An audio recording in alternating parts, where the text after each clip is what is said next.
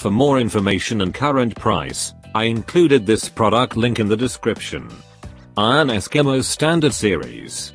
This auger has an 8 inch ice auger along with reverse. It can plow the ice at a good clip, expelling the slush and other debris as it goes. This model has many positive features and the product is in our list that offers intelligent tech. This battery operated unit is our advanced pick due to its many features. However, the product is priced around. Being so hard to reach in terms of budget, it comes down lower in our list to number 3. But make no mistake, this is the most feature rich product of them all. This product has an amazing star rating of 4.5. This one of the most popular products among many people in the north, including America and Canada. This is one of the world's one and only first generation of performance electric ice drillers.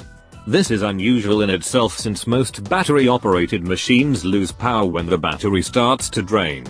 This is not the case with this machine. It gives you power auger performance without the aggravating problems which can go with it. It works fast, and you can dig multiple holes quickly on a single charge. There is a reverse option to help remove slush and ice from the blades, and to help to extract the auger from the drilled hole.